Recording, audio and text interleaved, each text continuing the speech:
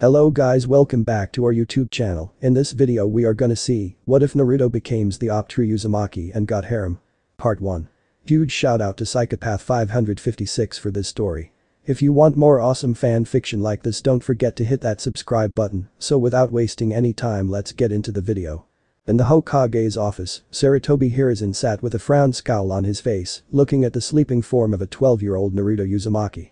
The young boy had been beaten unconscious by villagers earlier that night and had been rescued by a passing academy student, Anko Mitarashi, who had seen the end of it happen and had broken the fight up capturing the attackers with the help of her summons, all of who are now waiting interrogation by Ibiki, head of the T&I division, torture and intelligence. Due to the boy's circumstances, Naruto's injuries had to be treated in his office. 15% of the hospital staff were volunteering citizens doing the smaller tasks around the building, but not one of them would have passed up the opportunity to try to make Naruto's short stay even shorter by trying to end his life. This had happened several times in the past, and Hiruzen had given up sending him there and had one of his Anbu with the most medical experience treat him instead. The young Anko stood beside the elderly Hokage, looking down at the still sleeping Naruto as she thought. What could someone so young have done to earn such a beating? I've had my fair share of attempts, but that was just beyond brutal. She'd seen Naruto around and sure, the kid pulled some pranks every now and then, but nothing to warrant this kind of brutality, that was something else.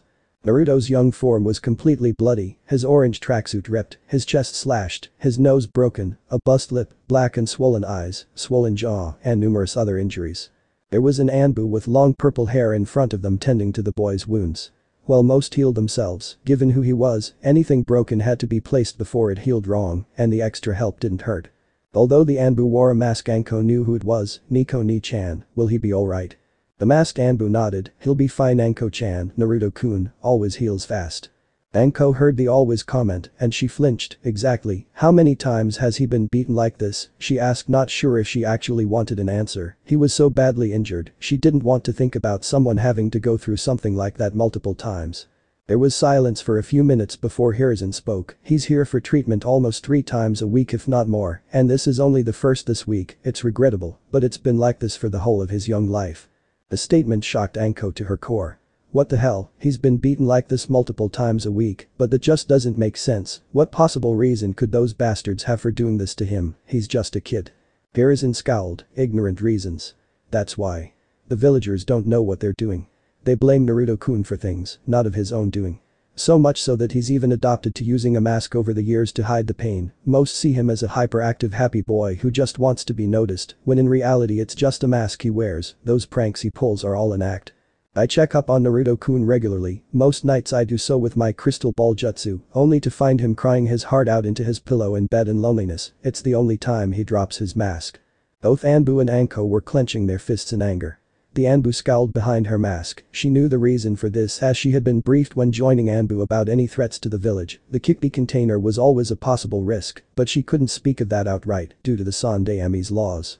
Anko snarled, what was out of his control to merit this kind of treatment, Hiruzen lowered his head, it's an S-class secret that no one is allowed to speak of under penalty of death, a law I passed.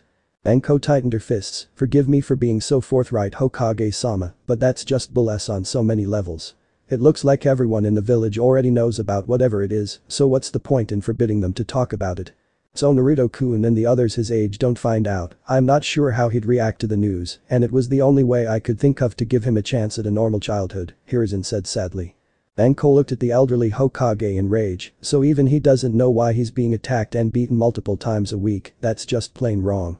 Hiruzen nodded, I know it is, but he will be told when he is ready. He starts the academy in a few weeks, so if he passes and becomes a genin at 16 and then chunin after. Then I will reveal it to him. Anko slammed her hands on the Hokage's desk, trying to rein in her anger at what she was hearing, with all due respect, at the rate he is getting beaten. He won't make it to genin, screeched chunin. And that's at least another four years of beatings, of not knowing why, even if he does make it to Genin. Here's inside, Yugao, remove your mask. Nico Anbu took off her mask and nodded as Hiruzen set down his pipe, Yugao, what do you believe? I know you've been assigned to guard Naruto-kun at least once a week on the rotation, and there has never been an incident while you were on duty. Do you believe he is ready to know what we're talking about? Yugao nodded, I do. I believe that Naruto-kun has much more intelligence than he lets on, the level of sophistication in the traps he uses in his pranks show great planning and skill, as well as a sense of style and appreciation for his work. He is hiding a lot more than just his emotions, if trained properly he will make a fine shinobi. I see no harm in telling him now. Hiruzen nodded as he lifted up his pipe for another drag before releasing it with a sigh, very well then, I believe I know a way that this might just work out for the best, but we will wait until Naruto-kun wakes up to discuss further. I will tell him and you, Anko, why he has been targeted and finally tell him and give him something that should make his life a little easier. Scene break. After a few more minutes Naruto finally started to wake up groaning, ow, that hurt. Where am I? Hiruzen smiles hearing Naruto's voice, in my office Naruto, you were rescued and brought here for rest and safety, by an academy student. Groaning Naruto sat up rubbing the back of his head with his eyes closed, ouch, thanks, Jiji, if you could tell that academy student I owe them one. Anko smirked hearing that, and I'll collect on it, she voiced looking at the blonde with a smirk. Hearing the voice Naruto's eyes opened to see the girl that it came from, damn she was cute, he blinked a few times, I take it, you're the one who saved me? Naruto asked looking at the girl only two years his elder. You've got that right, name's Anko Mitarashi, Gaki she smirked. Naruto's eyebrow twitched, thanks for the save, name's Naruto Uzumaki, not Gaki. Naruto spoke emphasizing the not part. Anko smirked, whatever you say, Gaki. She grinned. Naruto's eye twitched again as he stood up, well, thanks for the breather Jiji. I think I'll head home Naruto turned towards the door to leave, but as he did he felt a little chill, before he looked down and his eyes widened, ah crap, what happened to my clothes? They look like I've been oh yeah I was, great, just great, and this was my last good set, and it cost me 7000 ryo. Hearing the price tag on that ridiculously horrible tracksuit, both Anko and Yugao looked to the Hokage, whose eyes were shadowed under his hat, as a small amount of killing intent, Ki, leaked off him as he started to talk, Naruto just where did you buy that monstro? Dottie started but stopped before rephrasing, I mean that tracksuit. Naruto looked back to his grandfather figure, the civilian clothing store on the main street Y. Hiruzen waved him off, well that's another one of those bastards for the rack and a visit to Ibiki, 7000 ryo for that monstrosity, civilian stores can't sell anything over 3000, as per my law, and even at that there's no way that thing would be worth that, obviously overpricing him because of who he is, never mind Naruto, never mind, I was hoping you could stay a short time. There are some things I'd like to talk about with you if that's alright. Naruto gulped and waved his hands above his head frantically, if this is about the pink clothes dye in the Anbu uniform wash, I didn't do it. At that Hiruzen blinked, Yugao looked at him wide-eyed, and Anko looked like she was about to bust a gut in laughter, as three other Anbu dropped from the ceiling, their usual all-black attire, now a bright fluorescent pink as they pointed at Naruto and yelled, it was you. At that moment Naruto and Anko couldn't hold their laughter as they fell to the ground clutching their guts, laughing at the sight of the three bright pink Anbu. Yugao looked to be just about holding her own laughter back, luckily for her, she always washed her uniform at home and not at HQ, which begged the question. Just how did Naruto get into the most heavily guarded place in the whole village to pull his prank? While wearing a bright kill me now orange tracksuit. Hiruzen hid his laughter behind his a small sigh, all the while thinking, just like Kushina, always pranking, before clearing his throats making the Anbu salute before returning to their posts grumbling. Hiruzen smiled, no Naruto-kun it isn't about that, it's just that I believe it's time I told you a few things that I have been keeping secret from you. The young Naruto blinked, you've been hiding things from me Jiji. Naruto asked in a hurt tone. Hiruzen nodded sadly, not because I wanted to Naruto-kun. It's that it was necessary for your safety at the time and on some level, I wasn't sure how you would take it. But I think you're ready to know now, please take a seat. Hiruzen gestured in a kind tone. Naruto nodded his head in understanding and walked over to the chair in front of the Hokage's desk and sat down. Hiruzen nodded as Anko and Yugao took their seats also, Hiruzen looked to Naruto. Naruto my boy, before we can begin, there is one thing I would like to ask you to do. Naruto blinked, what is it Jiji? He asked with a big grin. Hiruzen frowned, please take off that mask and show us the real you. Naruto immediately stiffened and his smile disappeared, this didn't go unnoticed by the two beside him seeing his reaction. Naruto gulped slightly, Jiji how do you know about that? The elderly Hokage frowned looking sadly at the boy, there isn't much I don't know Naruto, now please, let us see the real you that you keep hidden behind that mask. The young blonde tightened his fists and his body tensed slightly before relaxing. You could honestly see his eyes lose some of their brightness and innocence as he did so as a serious look covered his face. Hi Hokage-sama, Naruto responded making the old man look visibly shocked. Naruto never called him that, he had always called him Jiji or Hokage Jiji, hearing the formal name, and in such a tone took him back for a second, and he frowned. Naruto, is this the real you? Hiruzen asked sadly. Naruto nodded, hi Hokage-sama, it is. Hiruzen's fists tightened a bit in anger seeing his unofficial grandson this serious and hearing such a tone from him at such an age, what has this village done to you Naruto?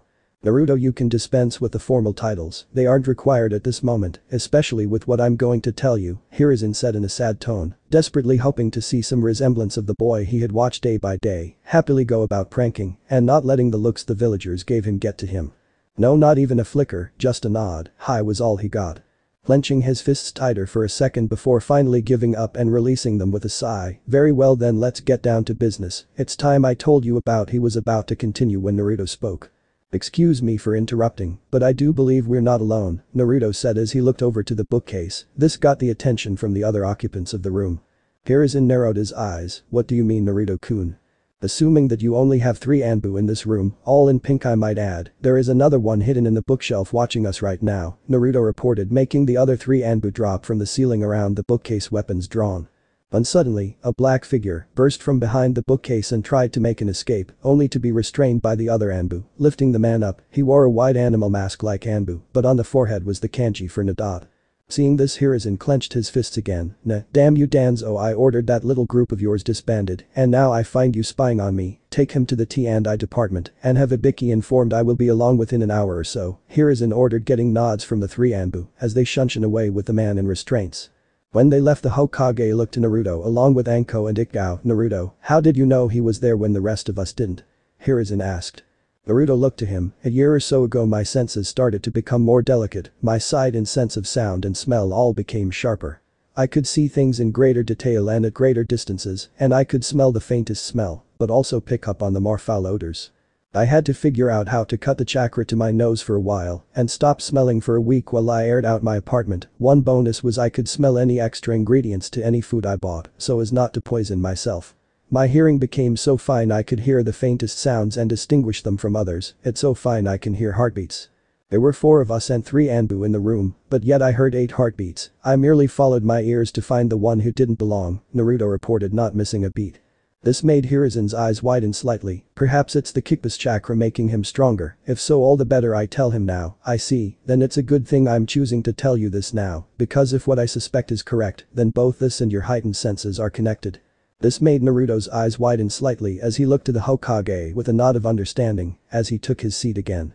Peers inside as Anko and Yugao took their seats also, I suppose I should start with your parents Naruto-kun. Naruto's eyes widened, but you said you didn't. Hiruzen raised his hand, I did. But that was because of who they were, they both had many enemies your Tou-san especially, and you being announced as his son would have made you a prime target for assassination attempts.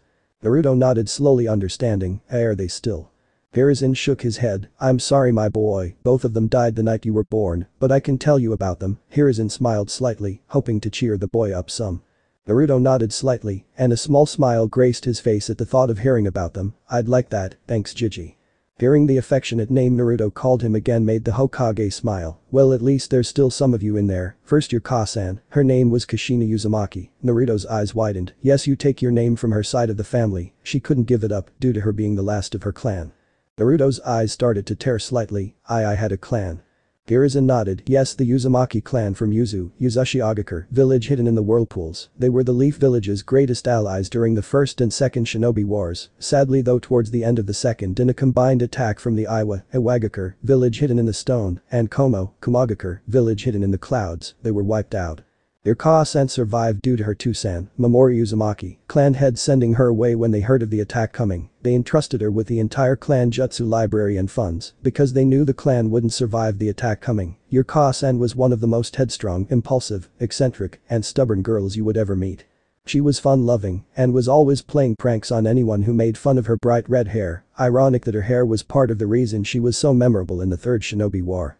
She gained the title of Red Hot-Blooded Habanero, she was a master of her clan's Kenjutsu and Kenjutsu and was deadly on the battlefield, with them both in combination and with her special chakra chains that were unique to her.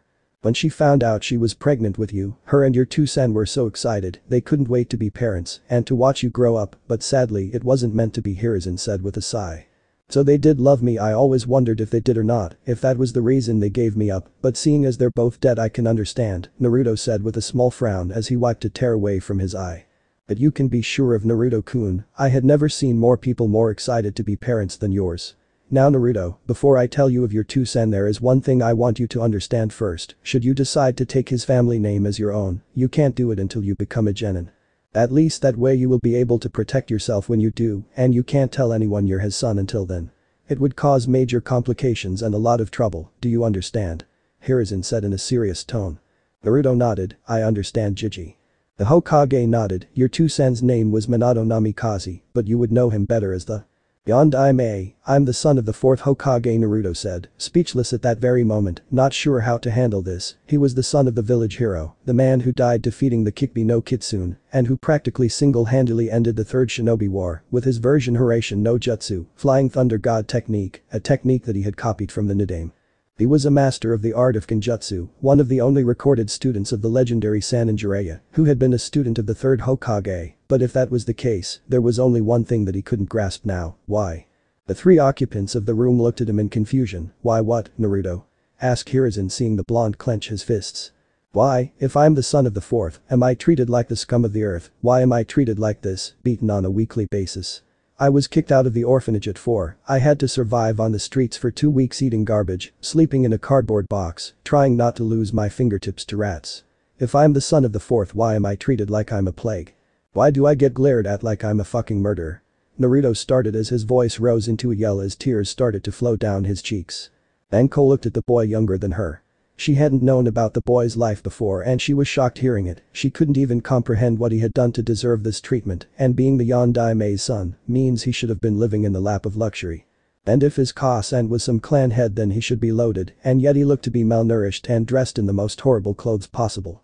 She had known hell, her parents had died when she was three, so she was an orphan too, but she had been taken in by the Sannin Orochimaru when she was six, he had seen potential in her and had taken her as his student and even let her sign the snake contract at the age of eight, of course. Things had all went sideways a year later when it was discovered he was a traitor and was kidnapping shinobi and civilians for experiments. He had tried to take her with him when he left, but she didn't want to leave, that's when he turned on her and gave her a curse mark before leaving her to her suffering. After that night, when all his crimes were revealed. Even though she had refused him, she was seen as nothing more than his pupil after that day, and people treated her like she was him. So being shunned and glared at and treated like crap she knew all too well, of course, she at least had Yugao.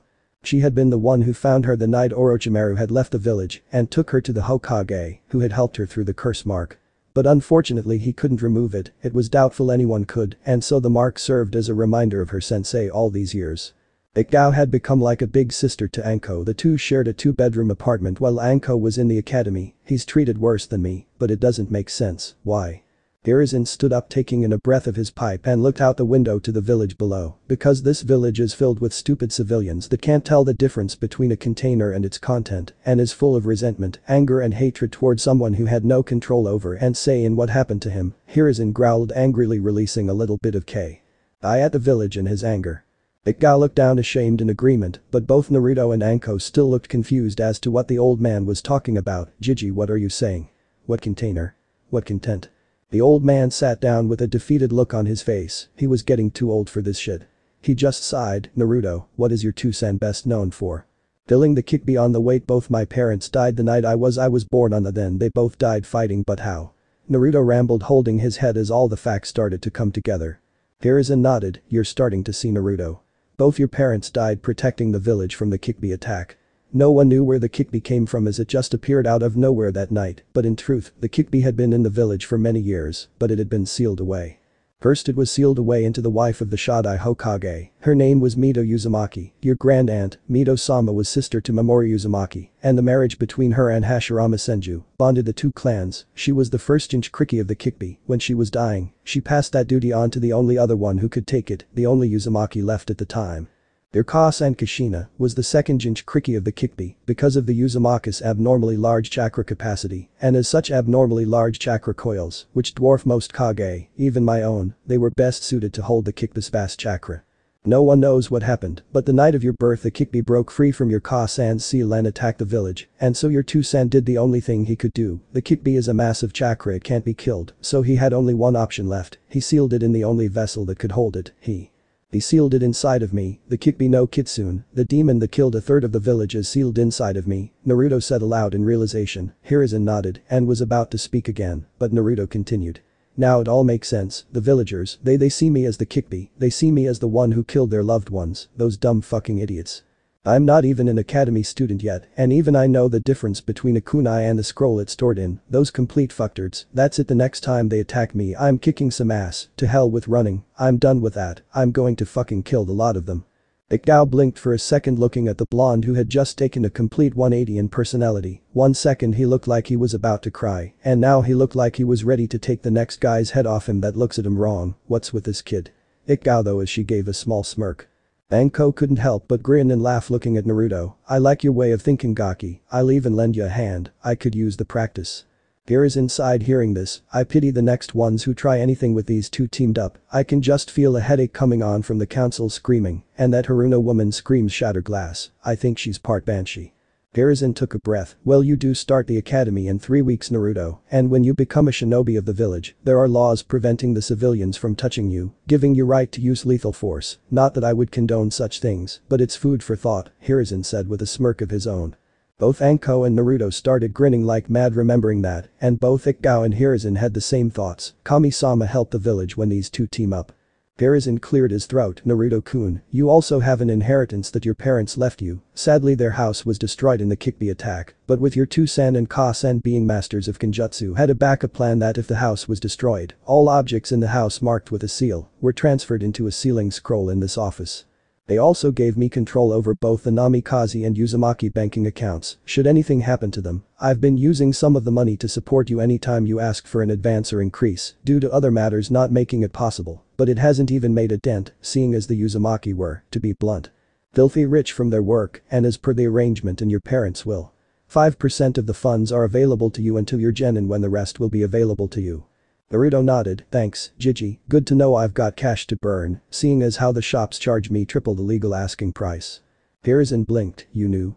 Naruto nodded, of course I did, I'm not as dumb as I look wearing this monstrosity Jiji, it was all the mask I was wearing. That, and it's all clothes the shops would sell me. Hiruzen nodded visibly angry, I see, well I'll see what I can do about that, do you have clothes to wear now Naruto?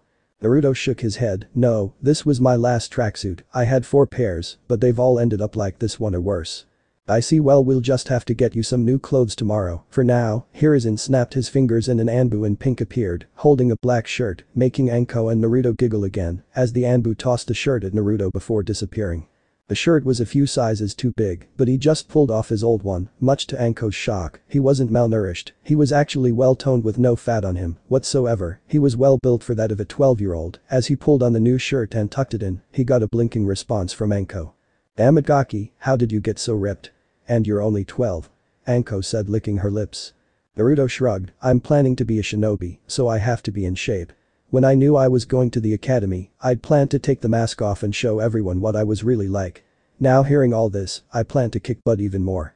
Hiruzen smiled hearing that, well if that's the case Naruto, I think I have just the things to get you started, he said as he got up and walked over to a safe opening it and pulling out a scroll. Walking back to his desk he opened it revealing a storage seal array. Channeling chakra into it there were a series of poofs of smoke. As it cleared it showed a few things, one was another scroll, two letters, and the final was a small box about the size of a loaf of bread. Hiruzen lifted up the two letters and handed them to Naruto, your parents gave me these to give to you when I finally told you about them, I'm sure you'll want to read them in private, but come see me if you have any questions. Naruto looked at the letters for a few moments and then smiled thanks, Jiji. Hiruzen nodded before handing him the scroll, and in this is the instructions on how to perform the Kage Bunshin, Shadow Clone, no Jutsu, Kushina was never able to perform the regular Bunshin, Clone, Jutsu, because of her massive amounts of chakra, as in Uzumaki, it's impossible for someone so young to perform it, so the Kage Bunshin will be your version of it. Your Ka-san left you her notes on it in the scroll as well, I hope it helps. Naruto smiled, I'm sure it will Jiji, I'll start learning it tomorrow after I get some new clothes. Hiruzen nodded, and finally, I have this for you, Hiruzen said as he pushed the box forward, opening it up as the front pulled away showing a collection of blank scrolls and paper with five ink bottles, brushes and a scroll labeled Kenjutsu Book 1. Beginner 1. Naruto blinked at it and then looked to Hiruzen, if you're anything like your parents, you'll be a genius at Kenjutsu like both of them. Your Ka-san was a master of your clan's Kenjutsu style, and she taught your Tou-san everything she knew, it was because of your mother's teaching that your Tou-san was able to create his own version of the Nidaime's Hiraishin, if you do decide to pick it up then. Naruto smiled, that's perfect Jiji, I was planning in the future to actually study Kenjutsu later on at the academy, but if I can start it early, then that would be great. Hiruzen frowned, actually Naruto, Genjutsu isn't taught at the academy. The academy covers the three basics, ninjutsu, taijutsu and genjutsu, along with the history of the elemental nations and other things deemed relevant by the civilian council. Naruto raised an eyebrow, maybe I'm just not getting the full picture here, but is that right? I mean a civilian council, deciding what's right to be taught in a shinobi academy in a shinobi village, shouldn't it be the shinobi side and you who decide the Jiji? Hiruzen nodded, you would think so, but I've got so much paperwork I don't have time to work everything, damn paperwork. Naruto blinked, ah, what about that Kage Bunshin? If I'm reading this right they retain all your memories, Naruto said as he read the first few lines of the scroll out of curiosity, so why not create a few of them to do the paperwork for you Jiji? At that very moment you could hear a fly fart in the room, and then the next second Hiruzen lunged across the table at Naruto hugging him. Thank you Naruto, thank you. I have been trying to get away from that paperwork for years, and now it might be finally possible, thank Kami-sama for you Naruto. Both Anko and Yugao looked at the scene sweat dropping, and the next second Hiruzen was back on his feet coughing, that incident is now classified SSS class, talking about it means immediate death am I clear he said in a serious voice. But all three just burst out laughing, that's a good one Jiji. Hiruzen inside walking back to his desk, now Naruto, I think it would be best that you moved apartments, seeing as how your other one is so run down, I will begin looking for a new place for you to stay tomorrow, while we go clothes shopping for you. Yugao interrupted then, excuse me Hokage-sama, I believe I may have a place that could accommodate Naruto-kun here, there is an apartment in the complex where myself and Anko live just next door, the rent is 750 ryo a month, and it is spacious enough for a boy of his age. Naruto smiled, that sounds perfect. That's three times cheaper than what I'm currently paying for rent, so I'm already sold. The Hokage looked at Naruto, Naruto what do you mean? Your rent is only 450 ryo a month and it comes out of the treasury as you're an orphan. Naruto just slapped his own forehead, how didn't I get that, damn stupid landlord's been charging me 2500 ryo every month out of my own pocket. Hiruzen clenched his fists, finally having enough of this, before snapping his fingers making an Anbu appear who wasn't in pink, arrest a landlord for crimes of tax evasion and cheating the treasury, take him to Ibiki and inform the scum all assets of his are seized, and he is stripped of his citizenship and all his assets transferred under the name Naruto Uzumaki. Mark them as reparations for crimes against himself. The Anbu nodded, before disappearing. Hiruzen nodded and looked to Naruto congratulations Naruto you are now property owner. Everyone's sweat dropped and Naruto shrugged, well I can just knock it all down and sell off the land, the place is a dump. The girls and Hokage nodded and then spoke, right shall we go and see this apartment, then Naruto, I'll have you put on the lease by night's end, Naruto grinned, sounds good to me. With a smile, all four of them started walking off to go see Naruto's new apartment, with one thing was certain things were going to change a lot. Naruto opens his eyes and blinks looking up at the unfamiliar ceiling, where the hell am yeah my new apartment, the blonde stood up and rolled up the futon he had been using the night previously that the Hokage had sent one of his Anbu for until they got Naruto his furniture later that day. Naruto looked over to the side of his room to see the chest, scroll, and letters the Hokage had given him, deciding now was as good a time as any to read the letters he picked them up and slid down the wall and opened the first of the letters, it was a woman's handwriting. Dear Naruto-kun. If you are reading this then the worst has come to pass, and I and your Tou-san are no longer alive. I want to apologize for that above all, I did not want to leave you. Even though I only got to hold you for a few minutes I will always hold those minutes close to my heart, you look so adorable. I am writing this as your Tou-san holds you, you look so much like him, I can already tell you're going to be a real lady killer when you grow up just like your Tou-san. I hope you grow up to be a kind, strong and gentle man, my only regret is that I won't be there to see it. There is so much I want to say so much I want to tell you, so many memories I want to share, so much I want to know. I wonder what your life will be like after we're gone. I wonder who will be your first love, your favorite food, color, book, your first words. Oh, Naruto-kun I don't want to leave you, but I have no choice. The Kyubi was ripped from me and set on a rampage, and the only way to seal it is in an Uzumaki, I can't do it in my weakened state, it would only break free again, it has to be you. I have pleaded with your Tou-san to find another way, but there isn't time. I just hope that the village will see you for the hero you are keeping the Kyubi at bay. Please forgive me for leaving you Naruto it is not by my choice, just know that you are loved and will always be loved. All the love in the world. Your Kasan, Kushina Uzumaki. Halfway through the letter Naruto had started tearing up and now he was crying his heart out as tears flowed from his eyes as he read the letter over and over again through watery eyes. Finally after crying for what seemed like hours he folded the letter and put it to the side as he opened the second letter. Dear Naruto. Since you're reading this then that means the old monkey finally told you who we were. I'm sure that came as a bit of a shock, didn't it? It also means that you've been told that you hold the Kyubi and that I was the one to seal it inside of you. I wish there was more time to look for another way to do it, I wish we had more time, but as I write this your Ka-san is lying down with you in her arms, and the Kyubi is being held back from the village by our shinobi. They can't last much longer so I must be brief. Your Ka-san won't be around to tell you this as the Kyubi was ripped from her, Jinchurikis can't survive without their Bijkindom, and right now it's only her will keeping her alive, but she can't last much longer. She doesn't want me to seal it in you, but there is no one else that can hold the Kyubi, and even if there was as Hokage, I can't ask someone else to give up their child for such a task. The Kyubi was ripped from your Ka-san by a man in a cloak and mask with one eye socket. I chased him off but the Kyubi is still on the rampage. I don't know why he did it, but what's done is done. Though he may return in the future so be on alert, I know you will be strong enough to fight off whatever comes at you, you are my son, after all, I believe you can do it. I have told the old monkey you are to take your Ka-san's name as I know that if you are named my son Enajinch Kriki, then your life will be far too dangerous. But if you want to take my name I have made preparations. Sealed at the back of this letter are blood samples of both mine and your Ka-san's, along with your birth certificate. The hospital will also have mine and Kushina's blood on record, give them to the old man when or if you want to take on my name, they will prove you are our son. Also sealed is the remains of your Ka-san sword, it was broken in the attack when the man in the mask took you and killed Sarutobi's wife, I didn't tell him this, so he could focus on the battle, and not go searching for the man who is already long gone, so I now leave that to you. Gomennasai. There should be a blacksmith weapons shop called Shinobi Arms. The owner Daichi Ashiro was the only one your Ka-san allowed to even touch her blade apart from herself or me. He was also the one who made my Hiraishin kunai. Once he sees the sword he will no doubt put the facts together. If you want to learn your Ka-san's clan's kenjutsu I'm sure that would make her very happy, so I've sealed away the beginner scroll in the letter as well, along with a few of your Ka-san's clan jutsu, the rest I'm sure the old monkey can give you from our vault. They are quite a drain on chakra from those who are not in Uzumaki, but with such large reserves already I know you will be just fine. I have to go now, just know that I will always love you and that I can only hope that you can come to forgive me for putting this burden on you and then leaving you, I know you will make us both proud. With all the love I can give. Your Tou-san Minato Namikaze Yondaime Hokage of Konohagakure no Sato. Naruto slowly set the letter taking a deep breath as a few tears escaped his eyes, I forgive you Tou-san, and I will make you proud. Looking to the back of the letter there was a large seal on it.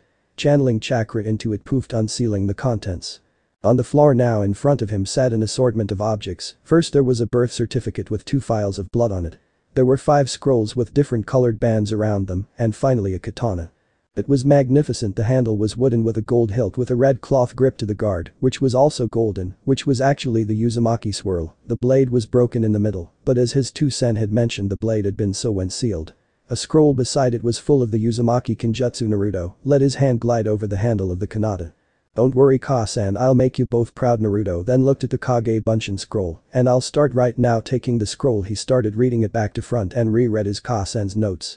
Kage Bunshin this technique creates copies of the user. However, these clones are corporeal instead of illusions. The user's chakra is evenly distributed among every clone, giving each clone an equal fraction of the user's overall power. The clones are capable of performing techniques on their own and can even bleed, but will usually disperse after hit by a strong enough force. The clones can also disperse on their own or be dispelled by the user of the technique. Shadow clones can't be distinguished from the original with a Sharingan or Byakugan Jutsu, which is handy to use when fighting them. Also, they come in handy when doing chores around the house. The handy thing to remember about the Kage Bunshin technique is that the user retains all the memories from the clones once they are dispelled. This make techniques that require muscle memory or memorizing information easier to get down, as they say, two heads are better than one, though for in Uzumaki it's more like 200. Extra note. Must teach this technique to Minato, this technique would be great in bed. Reading that last bit Naruto immediately blushed red, realizing what it meant, and then shook his head, oh great my Ka-san was a pervert, well at least I know where I get that part of me from, but those clones sound really handy muscle memory that's like stances, punches, kick, hand signs and movements like riding, this could really help me out when I start learning Kenjutsu, Naruto grinned. Well I guess I know what I'm learning first, but I've only got a few hours until Jiji comes to get me and we go furniture and clothes shopping, a plenty of time to get this one down, now let's see here. Time skip one hour later. There was a knock at the door and Naruto walked over to answer it, he opened it to show a smirking Anko. Morning Gaki, how's things? Anko asked with a grin. Naruto smirked back, going slow this morning, trying to get this Kage Bunshin jutsu down, never learned a jutsu before. Anko chuckled, I'll give you a hand then, I always wanted to learn some other type of clone aside from the regular, she said as she came in, and the two sat down and started going over the scroll. Naruto looked to Anko, thanks again for the save yesterday, you really saved my ass. Anko giggled, no problem Gaki, it's a nice ass to be saving. Naruto looked to Anko, you only just met me yesterday, and now you're complimenting my ass. You sure do have a strange sense of timing, especially for someone around our ages. Anko shrugged, what can I say, a girl likes what she likes. Naruto shook his head with a smirk and went back to reading the scroll. Time skip one more hour later. Hiruzen walked to Naruto's new apartment and knocked on the door, hearing a whole pile of ruckus inside he raised an eyebrow, what's going on in there? The next thing the door opened showing the room full of Naruto and two Anko being tossed about like beach balls, this isn't funny Gaki. Anko yelled as she was tossed yet again. The Naruto clones were all laughing watching them go, we think it is. All the clones yelled laughing. But then Hiruzen coughed getting everyone's attention causing all the clones to drop the two girls, one going off in a poof, and then in another larger explosion of smoke, the horde of Naruto clones disappeared, leaving only one with a grin on his face, hey Jiji, we were wondering when you were going to get here. Hiruzen chuckled hearing the blonde, well Naruto, I can see both you and Anko have the Kage Bunshin down, impressive, learning an A rank ninjutsu in just a few hours, and your very first one also, you certainly are your Tou-san's son. Naruto grinned rubbing the back of his head sheepishly, yeah it wasn't easy, it wasn't until Anko-chan came over and helped me that I finally got it down flat. The Hokage blinked and smiled, oh so it's Anko-chan, now is it, my aren't you two getting friendly quickly? He grinned. Naruto chuckled, oh two can play at that game Jiji, well you know what they say about those who become ninja, old enough to kill and all that, plus she's cute. I wouldn't mind.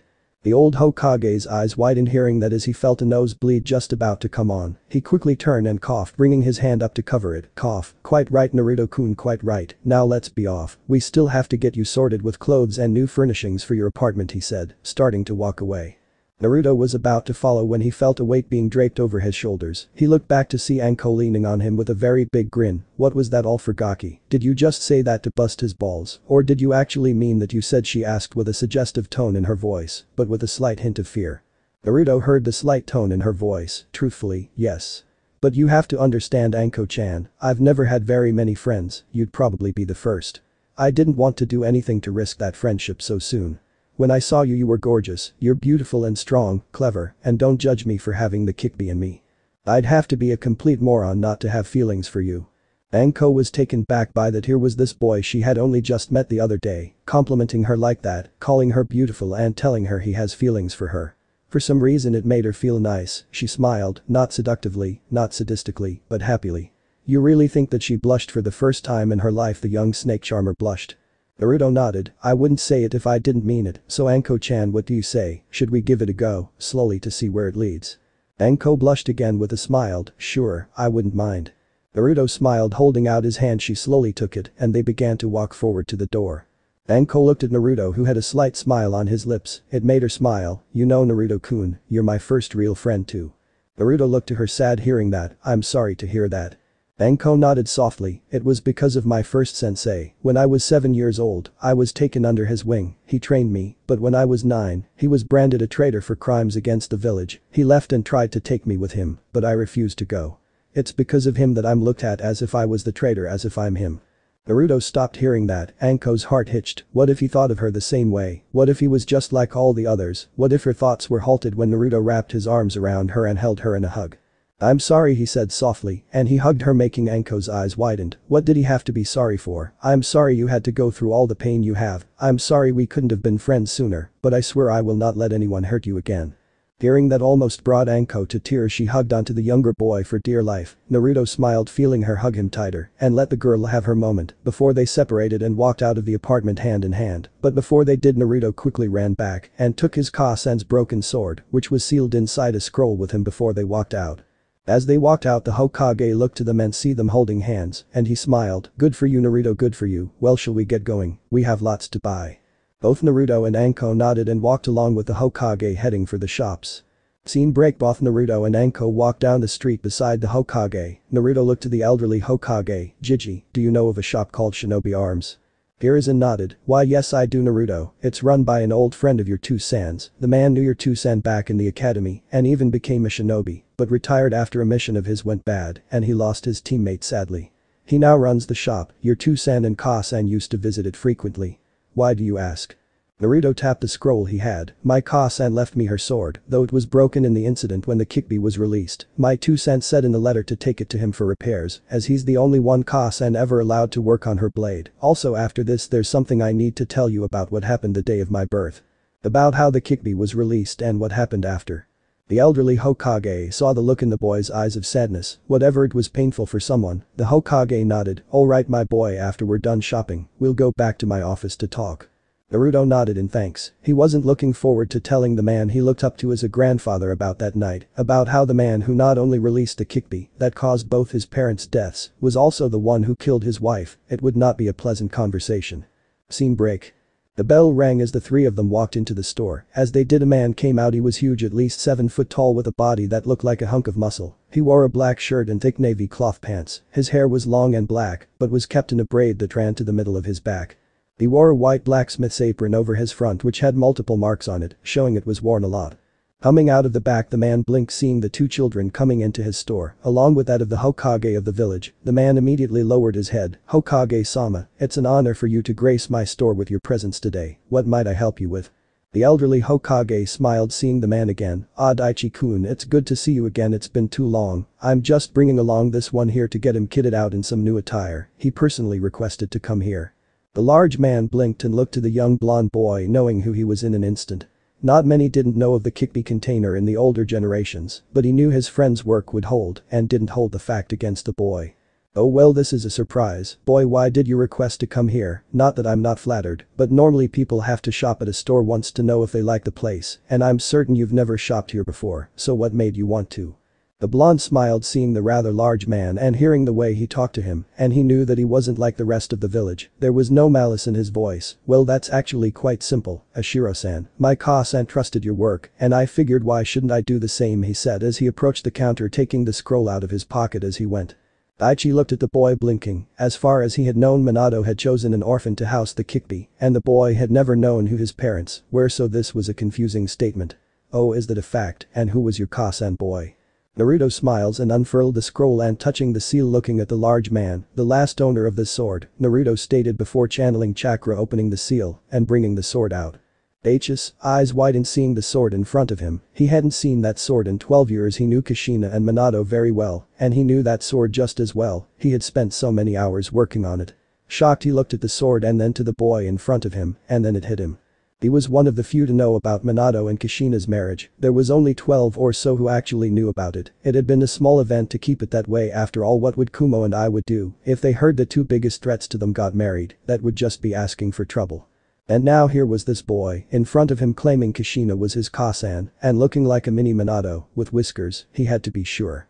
He looked to the Hokage for confirmation to get a sad nod, making the man's eyes widen more as he looked back to the boy in front of him. Well I'll be damned, Minato you sly dog he said before bursting into a hearty laugh. He pulled one over on the whole village from beyond the grave I swear I did not see that one coming, Uzumaki-san, your parents were my best friends back in the academy. You are always welcome in my store he said with a big smile.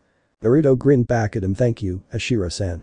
Daichi waved his hand in front of him gesturing no, enough of the formalities, call me Daichi, the son of my best friend, has that right, Naruto nodded, Daichi ran his hand over the blade and smiled, the red maelstrom, that's what your Ka-san named her blade, it was the last blade to be made from Uzu. They had this technique in forging their metals that made them stronger than most, and when Uzumaki chakra runs through it, that is where it really shines. Have you held it yet? Naruto shook his head, no I was waiting until it was repaired, and that's why I'm here my Tou-san said in his letter to me, that you were the only one my Ka-san trusted to work on her blade. That I was, he said as he lifted the broken katana up looking at the break, it's repairable, but it's going to take a few weeks, Uzumaki blades takes months to form. The metal is steeped in pure Uzumaki chakra. U2-sen came up with a way to repair the blade using seals replicating the Uzumaki chakra for just the purpose. I'll pull them out and start working on it tonight. He then turned the handle towards Naruto. Here channel your chakra through the blade and see what made Uzumaki steel so special. Naruto took the blade in his hand and focused channeling his chakra through the blade as told. He opened his eyes to see the metal was actually glowing red with his chakra in it. Cool. Barry, Uzumaki blades are meant to only be wielded by an Uzumaki. Now that you've wielded it, it's bound to you. It won't let anyone but you or those you allow to wield it. Should they try the blade will increase in weight, making it impossible to lift, along with giving the fool who tried to wield it nasty chakra burns. So Naruto-san, will Konoha be getting a new red death in the future? Or rather yellow death. Naruto looked confused for a second until the Hokage spoke up, that was your Kase and other nickname given during the war, she was known as the Red Death because of her swordsmanship and her red hair. Add in the trail of bodies she left between here and Kumo, the woman was a master with a blade with no equal, Daichi said with a smirk. Anko whistled, the more I hear about your Kasama Naruto-kun, the more I'm starting to like her more and more, she sounds like she was a total badass. Naruto grinned, yay, and yes hopefully in the future it will, I'm planning to learn my Ka-san's Kenjutsu and take after my Tou-san in Kenjutsu, I plan on making them both proud. That brought a smile to the Hokage's face, you already have Naruto-kun more than you know. Daichi nodded, well now that that's out of the way, let's get you kitted out, any specific style you're looking for. Naruto smiled, yeah I've got a few idea. Time skip. After about three hours of pulling clothes, with Anko adding her own commentary and saying he should add a trench coat to it all, Naruto finally had his outfit. Steel toes shinobi boots, black, with chakra metal caps for extra strength and durability. Black Anbu combat trousers, made of a thick and durable fabric, with pockets on both the shins and thighs for kunai and other equipment. A black mesh shirt with red rims around the arms, neck and waist, with red chakra bandages around his midsection. Black fingerless Anbu gloves with metal backplates, and taking Anko's advice a black shinobi trench coat with chakra metal shoulder pads, and on the back had the kanji for, ninth demon down the back in deep red, with the Uzumaki clan mark right above it. When the Hokage asked him why he had that put on it, Naruto simply shrugged saying, that's what the rest of the village see me as, may as well tell them if they try anything now, they're screwed. Anko chuckled, with a rather sadistic grin. I like it. Daichi nodded, your Tou-san designed some seals that will make that coat last you. I already took the liberty of applying them to the one you're wearing and to the two others in your order. They're for durability and fit. They make the coat grow with your body, should you suddenly take a growth spurt the coat will grow with you. How do you think some of the Akimichi use their expansion jutsu without tearing their clothes off them? Your Tou-san designed it for them, before that they had to always wear chakra cloth to allow it to grow with them, but your Tou-san fixed all that, and with the durability seal, it's as though it's high-grade body armor. It won't burn or rip without some major firepower behind the attack, so unless you're fighting a Kage-level shinobi, I don't think you'll be needing any more soon. Naruto grinned, thanks, oh and do you sell training weapons here? Daichi nodded, yes we do, what were you looking for, a bakken for training while your Kasan's blade is in for repair. Naruto nodded, yay and about 300 of them if you don't mind. Daichi and the Hokage blinked, why so many Naruto-san, are you worried about the quality?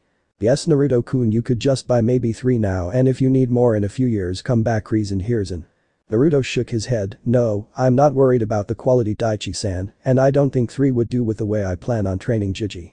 If what my Ka-san wrote down on the Kage Bunshin scroll is correct, I should be able to use them to get the stances down on the Kenjutsu style with them, and then put them to work sparring after in order to train, and I'd still get the experience and muscle memory. The Hokage nodded, I see, just be careful with that Naruto, you could damage your mind creating so many clones like that, the influx of memories could hurt, dispel them in groups of about 10 or so, when you do use that method, so as not to hurt yourself. Naruto nodded and looked at Daichi, very well Naruto-san I will go and get your Bakkens, I'll have them in the storage scroll at the front counter with the rest of your order, anything else? Naruto nodded, yes, about 5,000 kunai, shuriken and senbon needles, 20 large scrolls of seal paper, 500 liters of ink, and 500 kenjutsu brushes and ink jars. Handwriting and throwing are also about muscle memory, I'm going to be blitzing my training when I get home. I want to get through as much as I can before I start the academy in three weeks. Daichi nodded again, alright then I'll have the supplies and scrolls by the front desk before turning and leaving to the back. Hiruzen nodded hearing Naruto's plans, Naruto-kun if you want I could, after our meeting, write you up a training schedule to help you train for the next few weeks. I'd also recommend you send some clones to the library to read up on survival guides to pick up other skills like hunting and fishing, and reading up on history, law, politics, and other villages might help also, we could factor all that in also if you'd like. I could also assign you a Kenjutsu instructor to help you with your stances and assess your skills as you progress, I think I have a pair in mind just for that job. Naruto smirked, that would be great Jiji. I can use all the help I can get, though the librarian doesn't like me, much like the rest of the village Naruto finished rolling his eyes. The Hokage waved him off, no need to worry about it Naruto-kun I'll see to it that you can come and go as you please, Hiruzen said as they walked to the counter again, Daichi came out of the back with a number of ladled scrolls. Here's everything Naruto-san, I even threw in about 50 practice dummies into another scroll for practicing on free of charge for the amount you've just bought smiled. Naruto grinned, thanks, I'll definitely be making use out of them, so how much does all of that come to? The five sets of outfits come to 35,000 a set, the three coats with seals 5,000 apiece, the 300 Bakens at 500 per, the shuriken at 150 per, kunai at 175 per and senbon at 125 per, then the large scrolls of sealing paper at 15,000 apiece, and then the ink at 2,000 a liter. Then the brushes and jars as 100 per set, brings the total to 3,040,000 ryo, yen, Daichi said running up the numbers.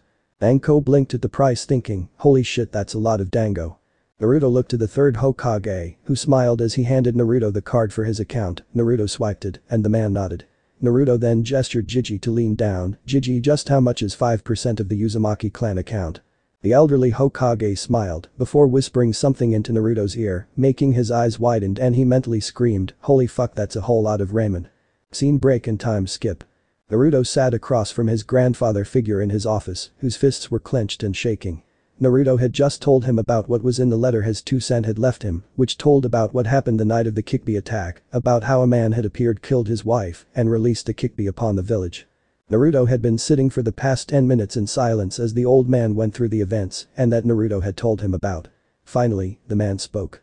Thank you for telling me about this Naruto-kun, your Tou-san was right to keep it from me, had I had known I would have chased a bastard to the ends of the elemental nations, I'm ashamed to say.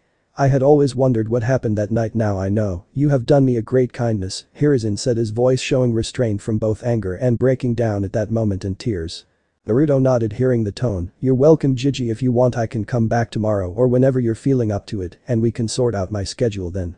The old Hokage shook his head, no, I'm fine my boy, thank you for your concern, but it's been so many years the pain of the loss has numbed, now let's get to the criteria of what you want to learn over the next three weeks so we can get started on your schedule. Naruto nodded knowing the old man was lying, that he just needed the distraction at the moment, so he would give him one, and this at the very moment just added another reason why Naruto would hunt down the bastard that did this and end him. Naruto stretched out his arms in his nice new bed as the sun came in through the cracks in the bamboo Venetian blinds in Naruto's newly furnished bedroom.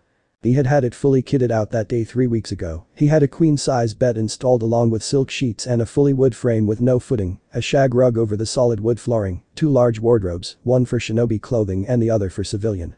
He stretched out his arms happily feeling the weight on his chest, he looked to the still sleeping Anko, who was in a pair of purple silk pajamas.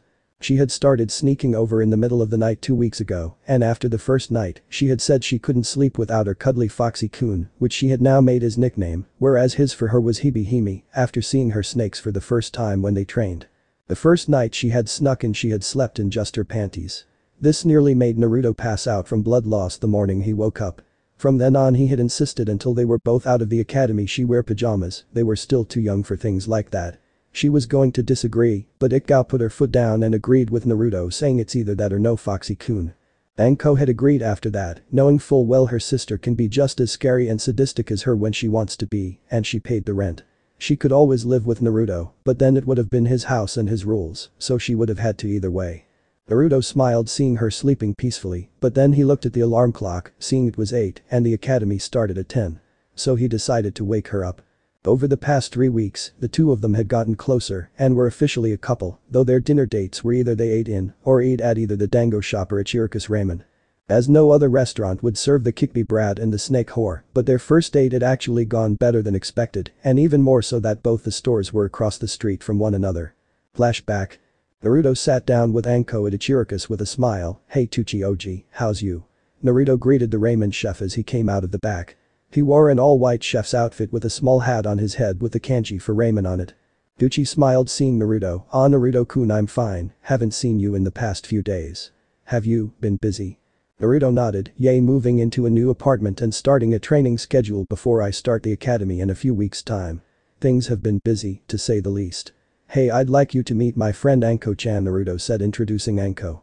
Teuchi nodded to Anko with a smile, it's a pleasure to meet you Anko-chan, and it's nice to see Naruto-kun is making some friends. It's nice to meet you Teuchi-san, Naruto-kun here had mentions your ramen is, and I quote food of the gods, but I'm still skeptical Anko greeted with a smirk.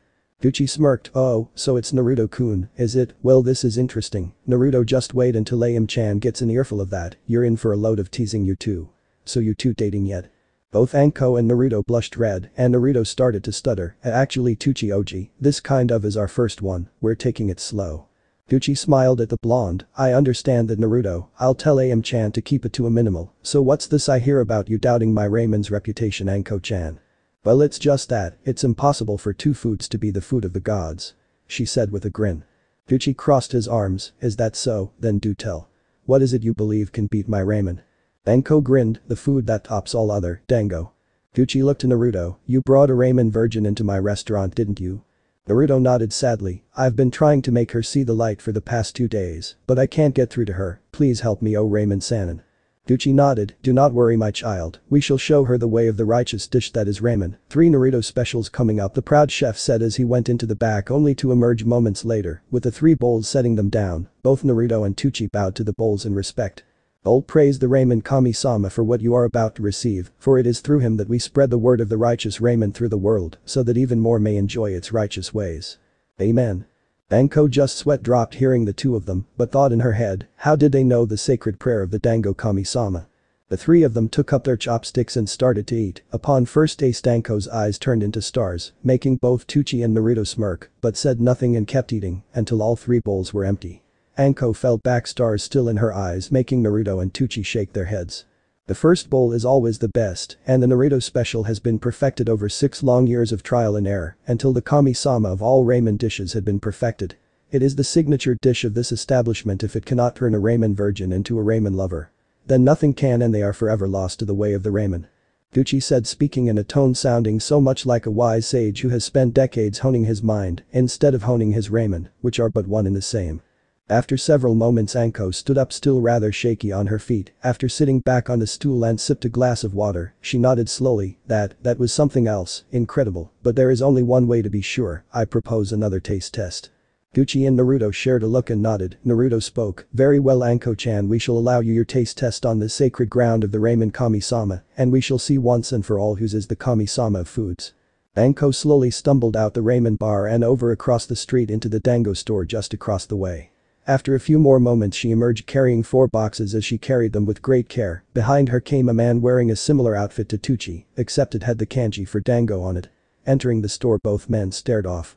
So Teuchi, seems you have been trying to convert one who is loyal to the joyous way of the dango, and turn her to the way of your slop, though she is of strong enough mind and faith to resist your temptations and submit the new chef spoke with a smirk.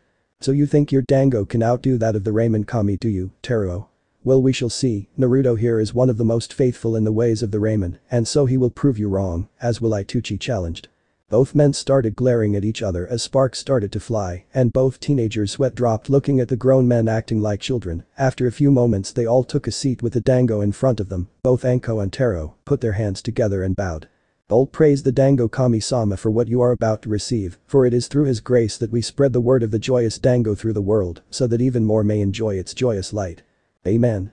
Both Teuchi and Naruto blinked, it's the ramen prayer to the ramen kami-sama, what could this mean? All four of them lifted up their first dango sticks and took the first dango, and just as Anko before him Naruto's eyes lit up, after swallowing the first bite, Naruto set the stick down, his body shaking, both he and Teuchi share a look the look of realization, they have found the Naruto's special final ingredient, getting up Teuchi moves to the back. Teruo smirking, what's wrong can't handle the joyous experience that is my dango. Anko looks to Naruto, who is still shaking. She smirked remembering her first bite, it was joy on a stick. Moments later Teuchi comes out of the back with four bowls of Naruto ramen, setting them down, I can't believe I'm about to say this, but for the past three years after perfecting the masterpiece that is the Naruto special, I believe your dango might actually be the missing taste, this bowl covers every taste, but that, the ramen in this bowl is an explosion of righteous flavors and textures. But your dango is what it needs. Teruo looked at his counterpart chef and saw no deception there was only one thing for it, let us see then. Everyone took a separate bowl and pushed a dango dumpling to the top of their sticks before dipping it into the juice of the ramen, lifting it out all four looked at the dango in front of them before putting it into their mouths. The result was all four passing out from their taste buds overloading and frying their brains as steam shot out their ears in the shape of dango and ramen. At night ramen and Dango met it was a righteous and joyous day for the four of them. The world would never be the same. Flashback end. The past three weeks had honestly been the happiest three weeks of Naruto's life, he had a girlfriend, he was starting the academy, he found out who his parents were, he had a new apartment, and his training couldn't be going better. That night three weeks back he and the old Hokage had put together a solid training regimen for Naruto, which has only improved over the three weeks, as he grows stronger and more training is needed. He even had Yugao and Hayate as instructors they helped him to get a better grasp of his chakra control, ninjutsu and kenjutsu.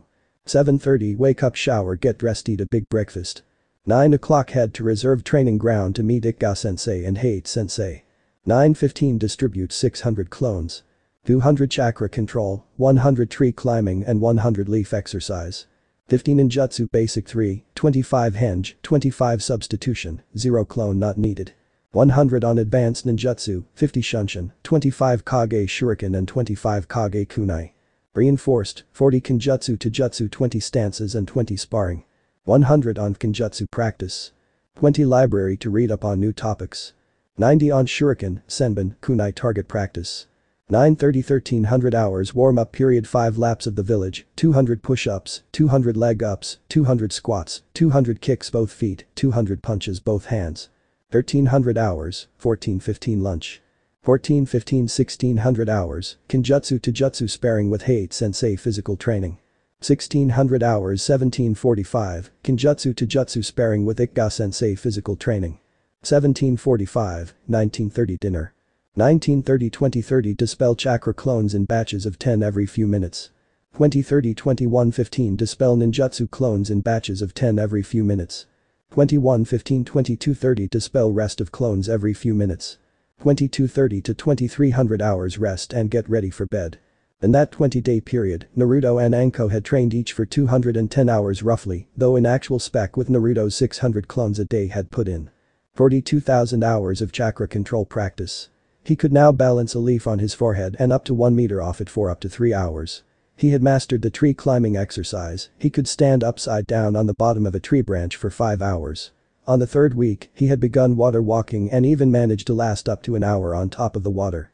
5,250 hours into each of the ninjutsu basics of henge and substitution. He could now substitute without the use of a hand sign and perform a flawless henge, although, due to the Kyuubi's chakra it was discovered that Naruto henge isn't an illusions, but it had an actual solid forms after the Hokage was informed about it. He dubbed the new jutsu the perfect henge and listed it as a B-class ninjutsu. 10,500 hours on Shunshin and another 5,250 hours into both Kage Shuriken and Kage Kunai, resulting in Naruto being able to Shunshin 50 yards in a second. He could keep up with low Jonin speeds with that level of skill, and with both Kage techniques, Naruto had mastered them to an extent of only needing one hand sign. The clones practiced Kenjutsu and Taijutsu for 4,002 hours each, and he himself had put in 35 hours each practice. He now had the stances of his Ka and Kenjutsu stances learned perfectly and the academy basic Taijutsu down so well.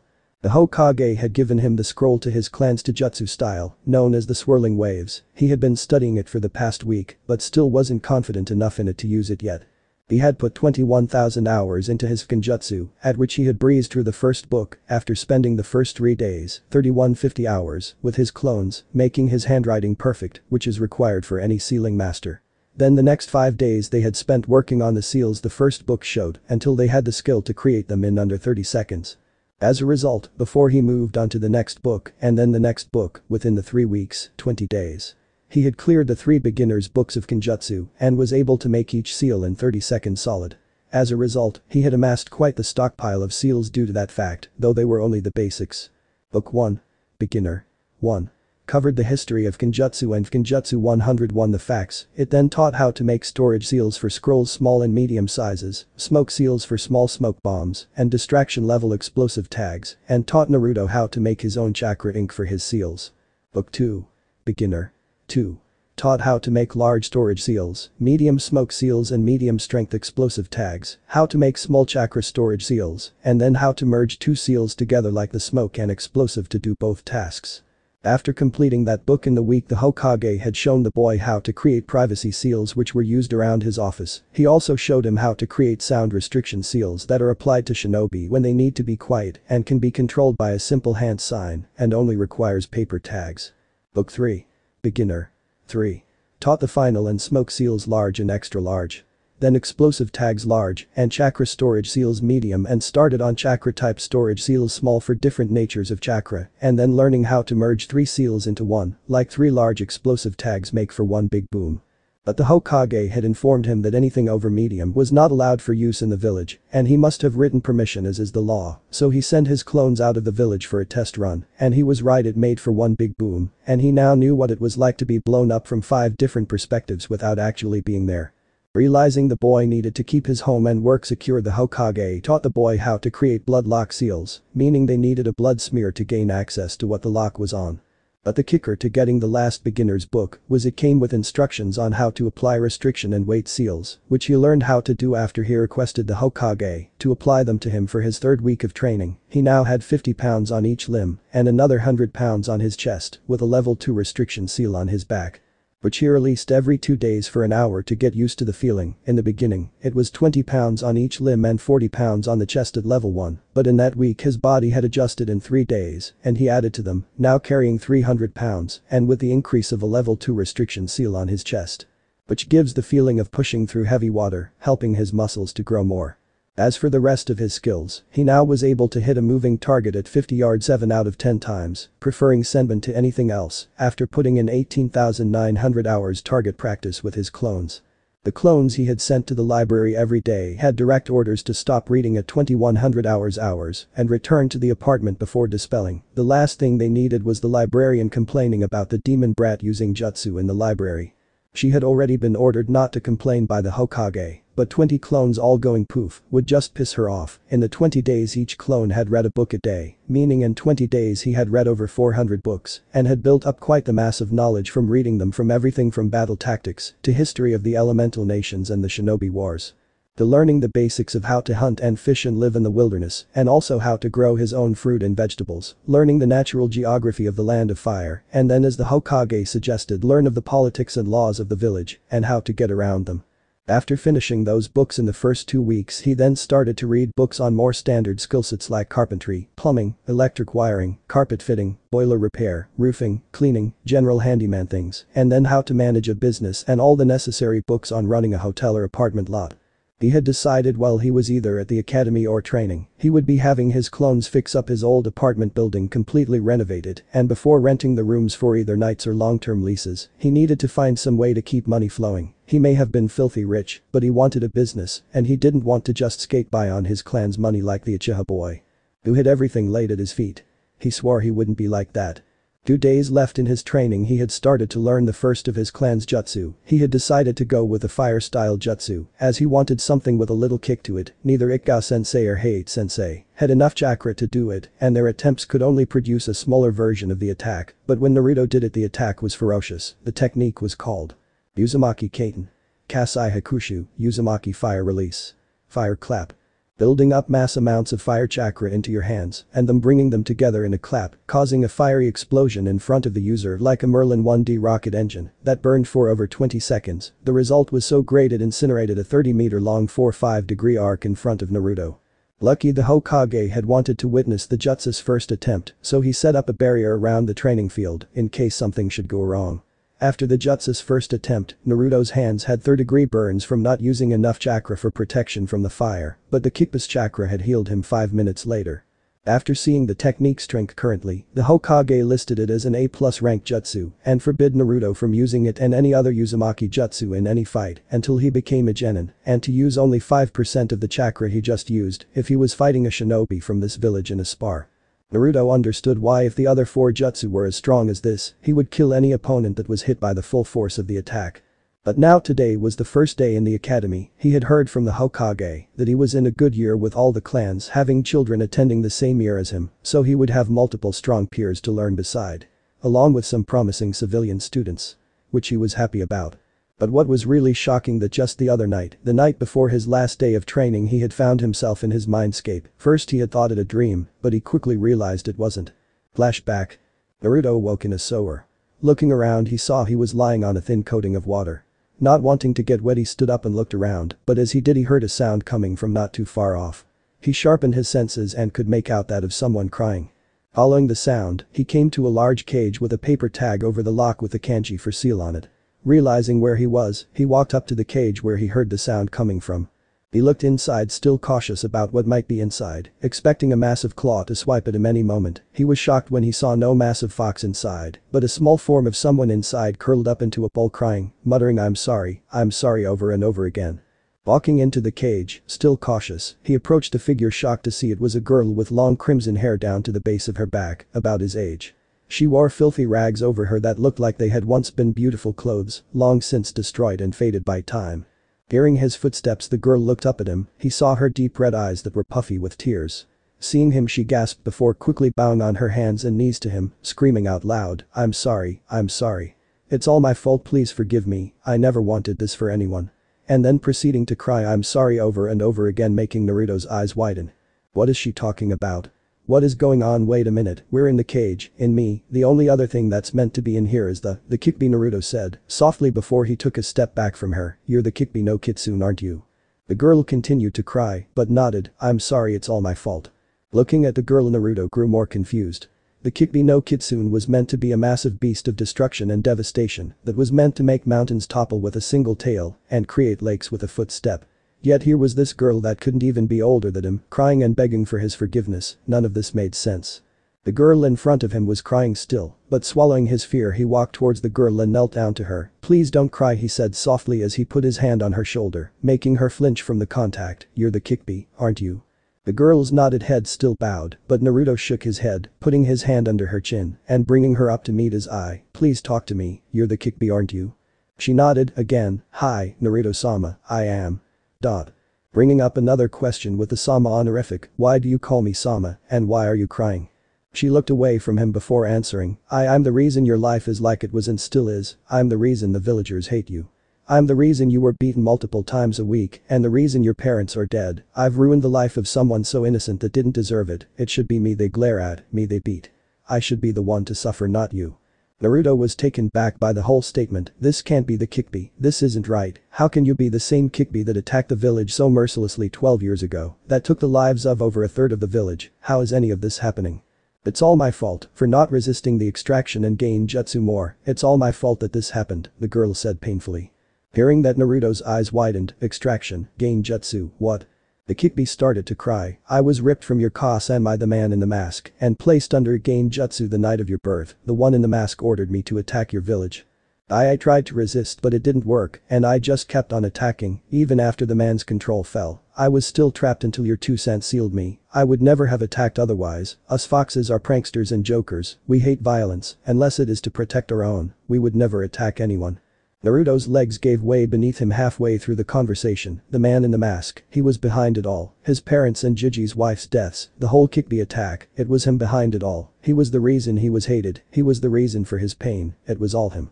Snapping back to the scene in front of him, the girl, Kyubi, was crying again. Naruto realized none of this was her fault and quickly embraced the poor crying girl in a hug, making her immediately stop crying. It's okay, it's alright. None of his is your fault he said softly to her. The Kyubi's eyes widened hearing that, how could he have forgiven her so quickly, all the pain he's endured because of her, why, how, it didn't make sense to her, why. She said softly just enough for him to hear, but before he could respond she pushed him away to arm's length, why can you forgive me so easily, I'm the reason for all your suffering and pain, I'm the reason behind it all, you should hate me, you should. Slap. The sound echoed in the cage, the girl felt a burning sensation on her cheek, he had slapped her, he had just slapped the Kyubi no Kitsune, and now everyone in the audience is thinking, damn dude's got some balls on him. She looked back at him to see his face filled with rage, his eyes red in slits, as he glared at her, the first thing that ran through her mind that it had all been an act, and now he was going to take his revenge on her over and over again and again, and she would accept it.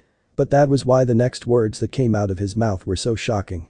No you're not, that bastard in the mask is, he's the one who has done all of this.